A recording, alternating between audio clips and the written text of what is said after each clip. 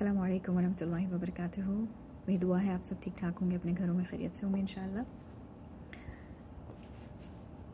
जब एक लड़की की शादी होती है तो उसकी सारी ज़िम्मेदारी उसके बाप से शिफ्ट होकर उसके शोहर पर चली जाती है।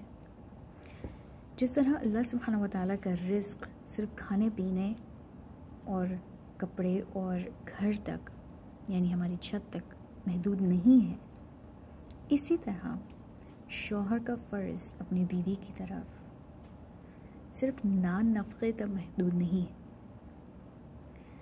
जिस तरह एक बाप अपनी बेटी की मुकम्मल निगहदाश्त उसकी जहनी और जिस्मानी सेहत, उसकी तालीम और तरबियत का ज़िम्मेदार होता है।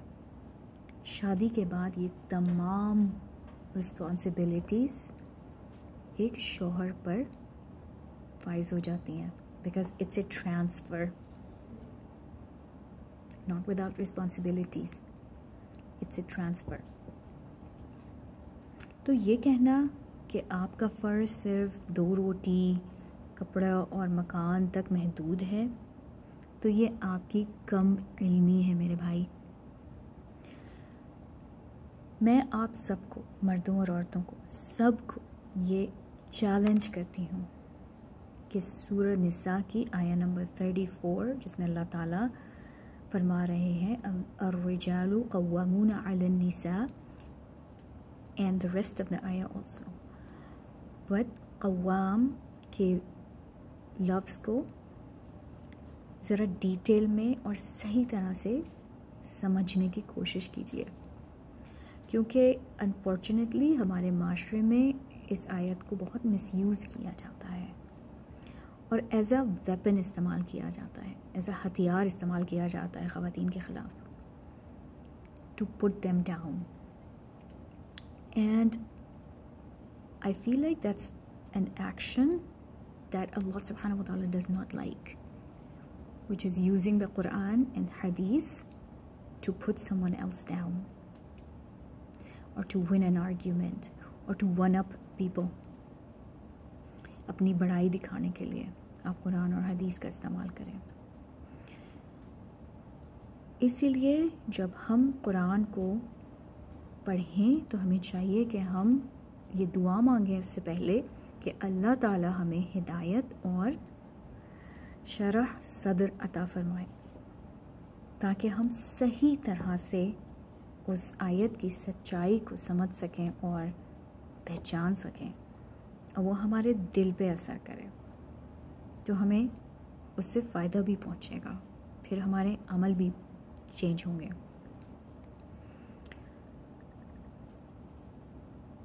एक औरत चार मर्दों को दो में ले जाएगी।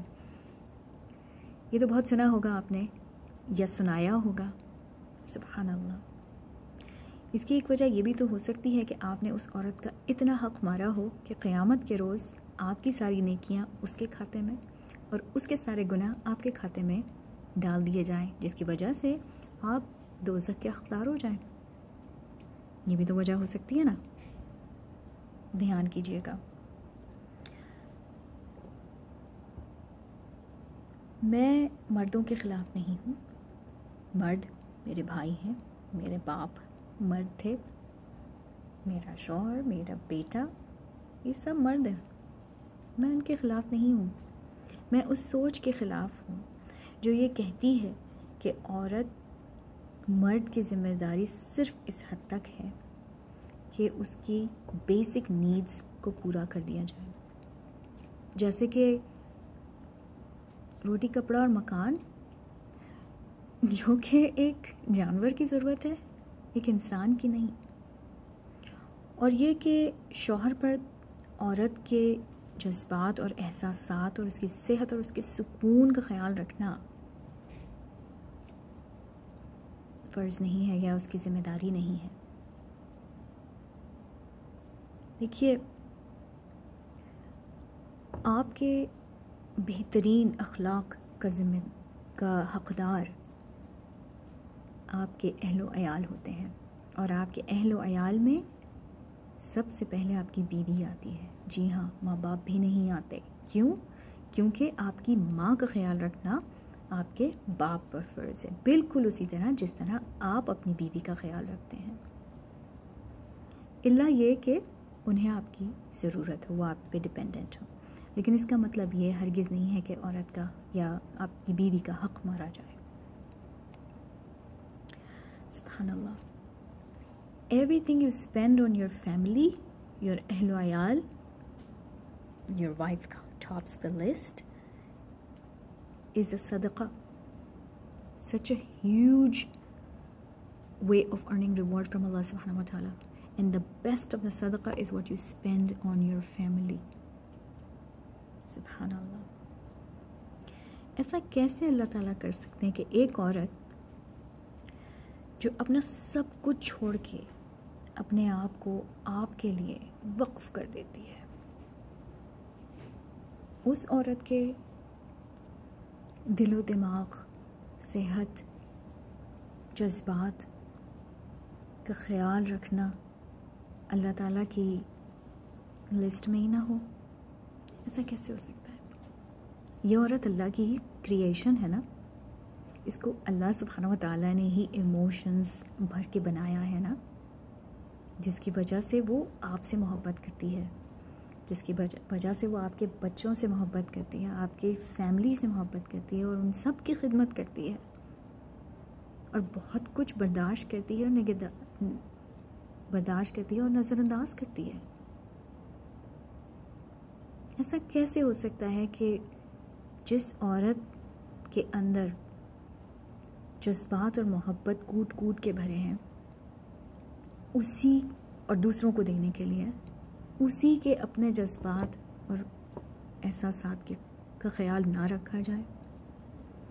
ऐसा कैसे हो सकता है कि एक औरत एक माँ बनकर इतनी मुक़दस हो जाती है और एक बेटी और बहन बनकर इतनी एहतराम और मोहब्बत और इज़्ज़त और हरमत की हकदार हो जाती है?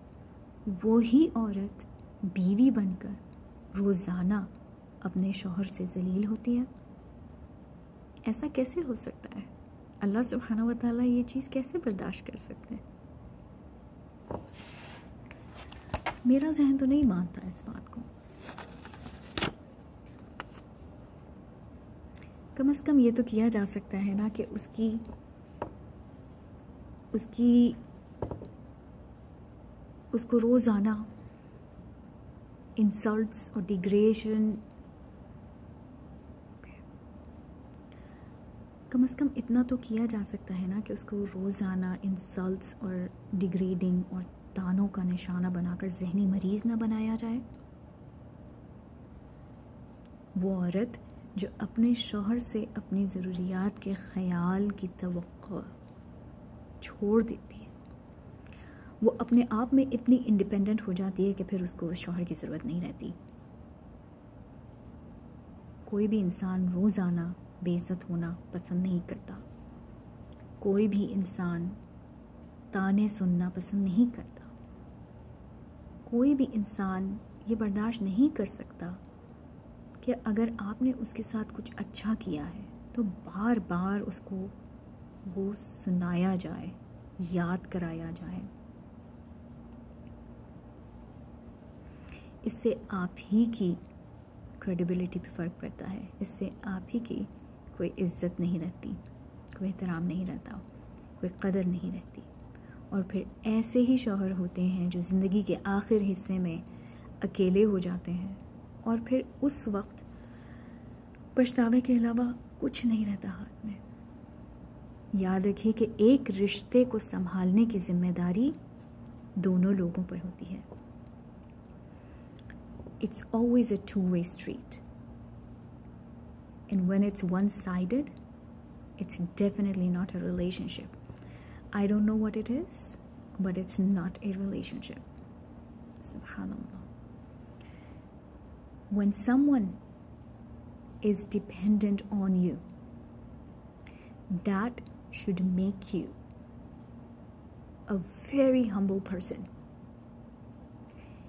Not at all arrogant. और ये बहुत ज़रूरी है, क्योंकि जहाँ हम देखते हैं कि हम किसी से बढ़तर लेवल पर आ गए हैं, या हमारे अंडर कोई आ गया है जिसका हम ख्याल रखते हैं, जो हम, जिसके हम ज़िम्मेदार हैं, हमारे अंदर ये बात तकबर पैदा करती है तो इस बात का ख्याल रखना चाहिए कि जब अल्लाह ने हमें किसी की ज़िम्मेदारी सौंपी है तो ये एक ऑनर की बात है। इन अल्लाह हम सबको शर सदर अता करे, कुरान की, को सही तरह समझने और इस पर अमल करने की तोफ़ी अता करे। मगर याद रखें कि ये तोफ़ी सिर्फ़ उन्हें मिलती है जो इस नीयत से कुरान को पढ़ते और समझते हैं। और फिर अमल की तरफ़ कदम बढ़ाते हैं और कोशिश करते हैं। अपना ख्याल रखिएगा। इन फिर मिलते हैं। अल्लाम वरहमल वर्का